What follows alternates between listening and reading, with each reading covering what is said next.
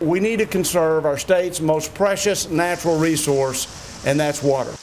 Drinking water has been forced to be trucked in in some communities.